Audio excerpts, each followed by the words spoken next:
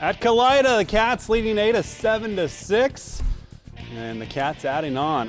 Adam Langhals throws the pass to Luke Langhals. Langhals Kalida 9 to 6. Kalida in front. Then Devin Kortokrax tosses to a wide open Randy Zeller. We know he's got all kinds of range. All of a sudden, Kalida's doubling up the Ada Bulldogs. Then Logan Rubke drives hard to the basket, dishes to Luke Langhals. There's another three.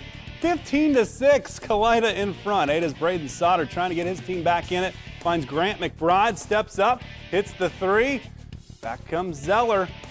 This time inside the three-point line, just faces up and I'll take that shot. It's an eight-point advantage once again for Crimson. McBride trying to get his team back in it in a hurry. His second triple of the highlights cuts the lead to five, but Kalida pulls away 63-48. Coach, Coach Kortokrax adds to his state best wins total by one.